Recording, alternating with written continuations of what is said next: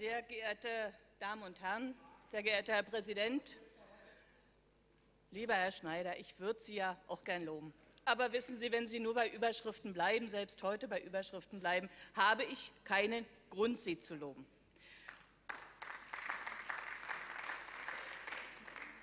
Im Gegenteil, Sie haben mit dem Senat Müller, auch Sie, Herr Regierender Bürgermeister, auch Sie, Herr Finanzsenator, haben eine neue Zeit angekündigt. Sie wollten für eine neue Zeit stehen, für Investitionen in diese Stadt, für ein Ende dieser imaginären 0,3-Prozent-Linie. Mehr Haushaltsklarheit und mehr Haushaltswahrheit. Das sollte das Credo sein. Doch leider ist keine neue Zeit angebrochen. Noch immer werden Einnahmen versteckt und Ausgaben mal hochgerechnet, mal geleugnet. Sie geben 300 Millionen Euro Mehreinnahmen zu. Tatsächlich sind es aber 800 Millionen Euro, mit denen wir die wirklich wichtigen Entscheidungen für diese Stadt treffen könnten.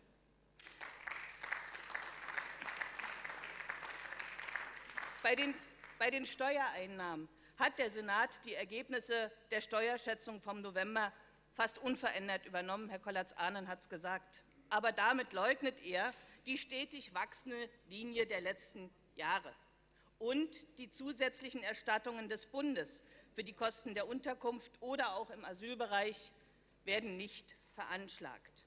Der Senat kommt lediglich der Pflicht nach, die zusätzlich vom Bund bereitgestellten BAföG-Mittel sowie die EU-Mittel aufzunehmen. Wir begrüßen durchaus, dass der Senat hier den politischen Spielraum nutzt und in Hochschulen Lehrerstellen für die Integration und in ein Sanitärsanierungsprogramm an Schulen investiert. Doch, sehr verehrte Damen und Herren, was ist mit den Ausgaben für die Leistungen an Flüchtlinge? Der Senat prognostiziert schon jetzt mehr als 20.000 Flüchtlinge in diesem Jahr. Und dennoch sind keine zusätzlichen Mittel im Nachtragshaushalt eingeplant. Die vielen zusätzlich benötigten Kitaplätze, insbesondere für das spätere Einschulungsalter, werden ebenfalls nicht zum Nulltarif zu haben sein. Und großer Posten, die Minderausgaben für Zinsen. Auch in diesem Jahr werden sie mindestens bei 350 Millionen Euro liegen, und sie unterschlagen das dieser Stadt. Das Thema BER hat mein Kollege Esser aufgegriffen. Äh, dem schließen wir uns an. Alles in allem Haushaltsklarheit, verehrter Herr Finanzsenator, die sieht anders aus.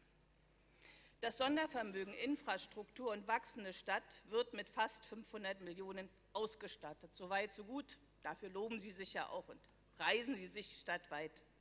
Dem haben wir ja auch soweit zugestimmt. Aber es ist eben auch schon das einzig Gute. Die Überschrift lautet, der Investitionsstau wird aufgelöst. Doch, verehrte Damen und Herren der Koalition, das gehört doch wohl ins Reich der Märchen. Mit SIVA parkt der Senat Überschüsse aus den letzten Jahren bis auf unbestimmte Zeit in einem Sondervermögen. Im laufenden Haushalt sieht er jedoch keine zusätzlichen Investitionen vor. Die Steuermehreinnahmen aus diesem Jahr sollen eins zu eins in die Tilgung fließen. Sie erwecken damit den Eindruck, als ob Sie die Stadt mit einem Füllhorn voller Investitionen beglücken würden.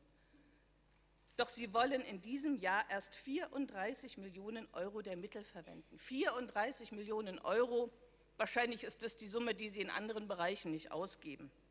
Nicht, dass ich glauben würde, dass sie mehr als 34 Millionen Euro ausgeben können. Nein, ich bin mir sogar sicher, dass sie es nicht schaffen werden. Bleibt abzuwarten, ob nicht sogar wieder pauschale Investitionsmittel in Größenordnung zurückgegeben werden, so wie in den letzten Jahren auch. Oder aber Sie nutzen die 34 Millionen Euro für die Bewerbung dieser Stadt für die Olympischen Spiele. 3,4 Millionen Euro haben Sie ausgegeben, um bei zwei Prozent der Bevölkerung mehr Zustimmung zu erreichen für Olympische Spiele. Mit 34 Millionen können Sie da ja wirklich auf eine breite Zustimmung hoffen. Aber das, was Sie dann tatsächlich aus dem Sondervermögen finanzieren, soll nur der exklusive Club der Hauptausschussmitglieder und nicht das Parlament als Ganzes beschließen. Sie haben nicht den Mut zu einer transparenten Debatte in der Stadt, was, wie und mit welcher Priorität passieren muss, um den Investitionsstau kontinuierlich abzubauen. Ja, nicht einmal die Fachausschüsse wollen Sie einbeziehen. Sie halten weiter fest an verkrusteten Machtstrukturen und Parteienproports und lehnen es ab, sich aus der Kettenreaktion von Wahlkreisirritationen zu befreien. Ob dann nur Schneiderrabatt oder Lederrabatt, Herr Schneider. Insgesamt liest sich doch die Liste der vorgesehenen Investitionen wie ein Sammelsurium von Köstlichkeiten für die bevorstehenden Wahlen im nächsten Jahr. Und Herr Schneider, Sie haben sich gepriesen, vergessen wir doch nicht Herrn Graf. Auch er soll doch in seinem Wahlkreis mit dem Bau eines Multifunktionsbades punkten können. Nur leider bleibt die Sanierung der vorhandenen Bäder auf der Strecke.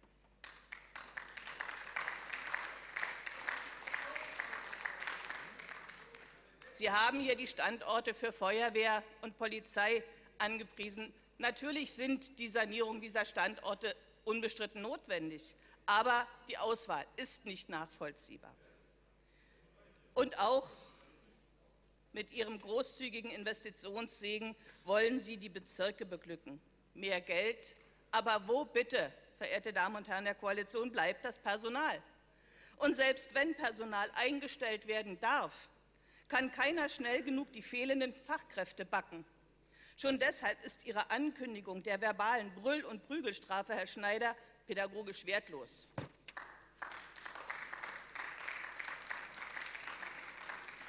Darüber täuscht dann auch das Angebot der Amtshilfe von BIM, Berlinovo oder der Senatsverwaltung für Stadtentwicklung nicht hinweg, denn auch hier ist doch schon Land unter. Oder warum sonst haben die Hauptverwaltungen in den letzten Jahren Investitionsmittel zurückgegeben und die Bezirke Bauinvestitionen nicht ausgeschöpft? Hier wird Ihr größter Schwachpunkt deutlich. Der ist und bleibt das Personal. Das ist der Bereich, wo Sie permanent mit Nebelkerzen werfen.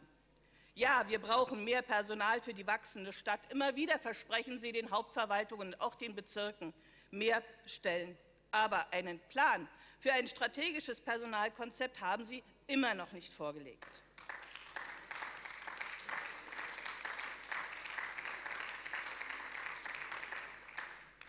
Ich sage Ihnen, wenn Sie nicht umgehend klare Entscheidungen treffen, werden Sie mit dem vorhandenen Personal in diesem Jahr noch nicht einmal die Bauschilder aufstellen können. Nach dem Zahlenbude Ihres Vorgängers haben Sie leider die Chance auf eine neue Haushaltspolitik verpasst.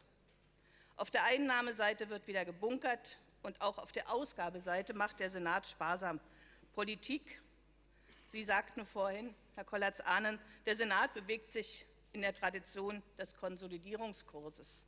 Wir sagen, diese Politik bewegt sich in der Tradition des Herrn Nussbaum. Und das war Zahlenwude und Trickserei.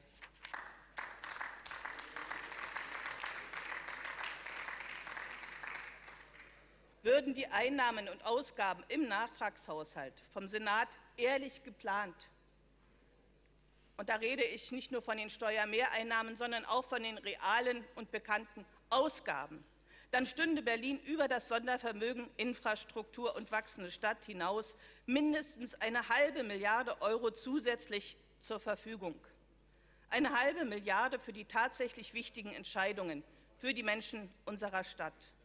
Und vor allem können wir dann und könnten wir dann die gewonnenen Spielräume für kontinuierliche und geplante Investitionen nutzen und nicht nur dann in die Stadt vielleicht investieren oder so tun zu investieren, wenn zufällig Überschüsse da sind. Vielen Dank.